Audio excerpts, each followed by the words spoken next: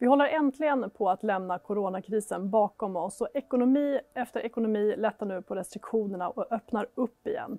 Samtidigt är räntorna låga och stimulanserna är fortfarande kraftfulla. Rapportsäsongen för det första kvartalet var inget annat än ett rent styrkebesked. Vinsterna i USA och Europa växte dubbelt så mycket som väntat. Trots det har börsuppgången tappat tempo senaste tiden. Det finns flera anledningar till att börsen står och trampar vatten och en är faktiskt den här otroligt höga tillväxttakten. Förr eller senare kommer nämligen tillväxten nå toppen och sen bli lite lägre. Historiskt har det ofta sammanfallit med att även börsuppgången tappar tempo och att det blir mer slagigt och en sidledes utveckling. Som lök på laxen har vi dessutom fått lite högre inflationssiffror än väntat den senaste tiden och det har satt igång spekulationerna om när Fed kommer byta fot och börja trampa på bromsen istället för gasen. Den närmaste tiden så väntar vi oss att börsutvecklingen kommer förbli mer beskedlig än vad den har varit det senaste året. Samtidigt så är fortfarande stark tillväxt, låga räntor och stigande bolagsvinster gynnsamma förutsättningar för aktier.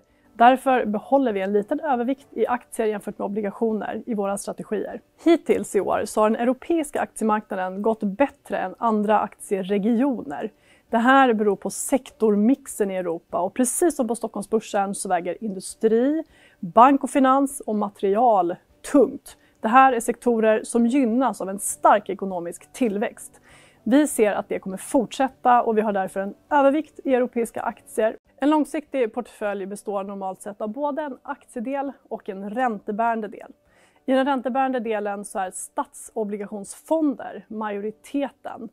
Det här är fonder som idag ger en väldigt låg förväntad avkastning, kring noll eller till och med en negativ förväntad avkastning.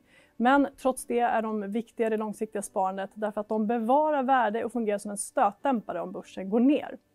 I och med att den förväntade avkastningen är så pass låg så har vi dragit ner det till en liten undervikt. Vi har samtidigt en övervikt i företagsobligationsfonder, både av typen investment grade och high yield. De här fonderna ger ju en högre förväntad avkastning men även risken är högre. Och man ska komma ihåg att om börsen går ner, då påverkas de här fonderna negativt också. Mer om vår syn på marknaden och vår investeringsstrategi kan du läsa i Danske Bank Houseview för det tredje kvartalet 2021.